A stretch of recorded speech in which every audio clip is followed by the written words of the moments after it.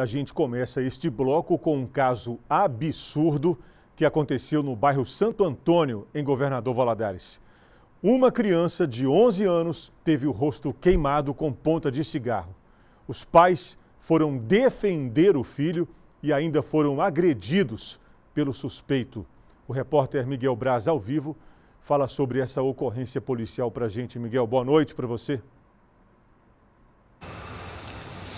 Boa noite, Saulo. Boa noite para todos que acompanham a nossa programação. É exatamente, olha só, de acordo com o um boletim da Polícia Militar, a criança de 11 anos estava na casa do suspeito e teria ocorrido uma discussão. Então o suspeito pegou o cigarro e queimou o rosto da criança. A criança foi para a casa dos pais dela e contou sobre o ocorrido. A mãe e o pai do garoto foram para a casa do homem tirar satisfação. Aí que veio mais confusão ainda. Os três começaram a discutir e o suspeito agrediu o pai da criança com um capacete e acabou provocando um hematoma na testa.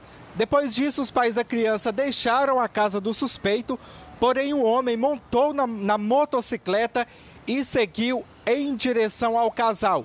O homem esbarrou com o veículo na mulher a mulher caiu e sofreu alguns ferimentos e depois disso o suspeito fugiu.